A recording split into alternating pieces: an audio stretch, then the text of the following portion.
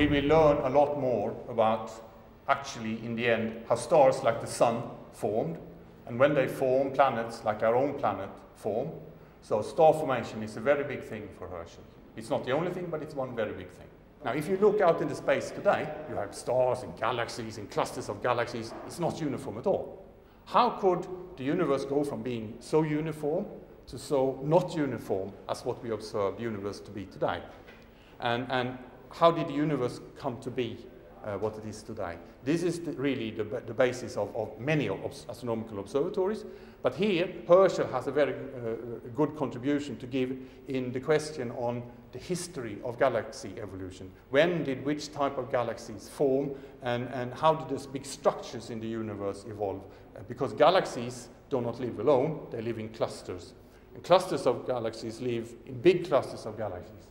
And today, we know that all these, all, this old fabric of where galaxies are and where they not are is like a sponge.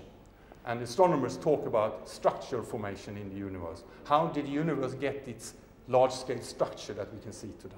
And here, this is the second very important uh, part of where Herschel will contribute a lot, because nobody else has been able to observe uh, with the detail that we can the infrared emission uh, from galaxies. A colleague of mine made a joke once and he said, look, okay, so normal stars like the sun, they are like the grown-ups if we, if we make the analogy with people.